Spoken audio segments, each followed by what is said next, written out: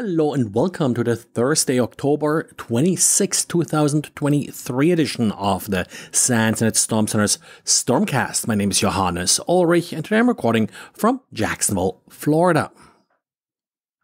Well, and a day late, uh, at least according to mine and others' expectation, we uh, today got updates from Apple for pretty much anything iOS, iPadOS, macOS, tvOS, and watchOS.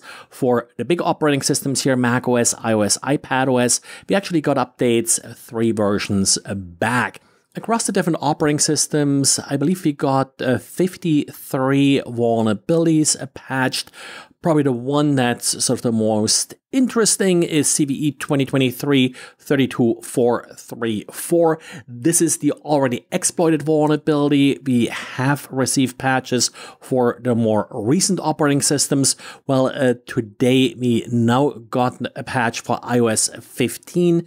That brings us up to iOS 15.8 8 and Apple states and has stated that before that it has seen exploitation of this vulnerability for iOS prior to 15.7. And this is also the only iOS 15 patch that was in today's update. The remainder of the vulnerabilities are sort of your usual mix, bunch of WebKit vulnerabilities that are always interesting that allow for code execution if you're visiting a malicious web page, some purge escalation vulnerabilities to go with this, and then also sort of a crop of uh, privacy issues. For example, where your MAC address may be sent when it's not supposed to be sent, or where, for example, hidden photo albums and such may be viewed without authentication. Certainly an update that you don't want to miss. I would suggest that at least sort of by the coming weekend, you probably should apply these updates across your different Apple devices. And beginning of October, Atlassian did release an update for CVE 2023-22515, patching a vulnerability in their Confluence server and data center uh, product. The problem here was an authentication bypass that pretty much allows anybody with a simple request uh, to add new admin users uh, to uh, your system.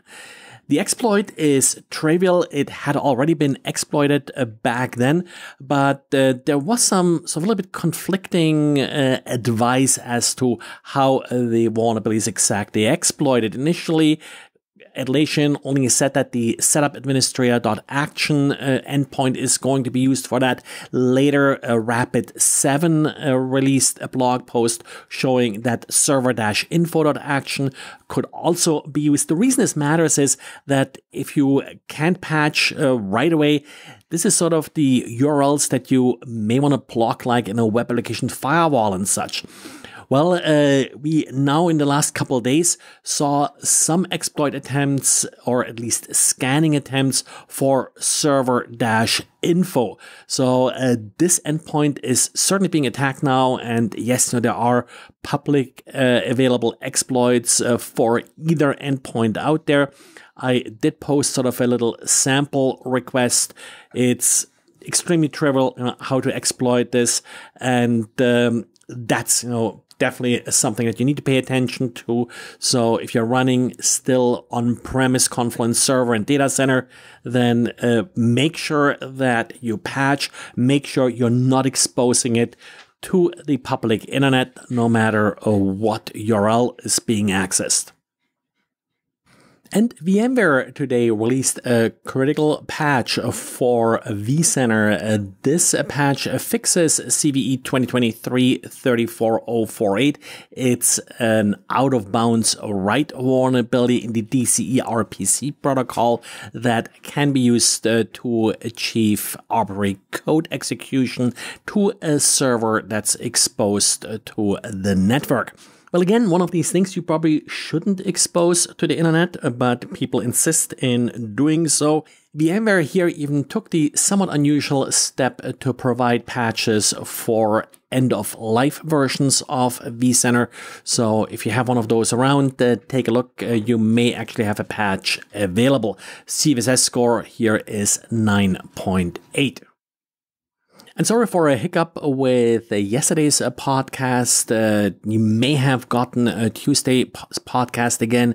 Have reworked uh, some of my uh, podcast publishing scripts and, uh, well, not working quite as smooth yet as the old one. Hopefully, this was the last bug.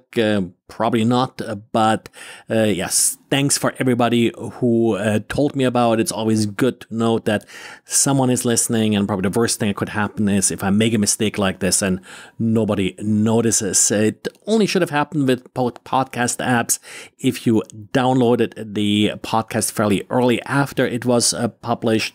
But then again, some of these apps uh, continuously sort of check for new versions, and that they may not have noticed later when I swapped the file back.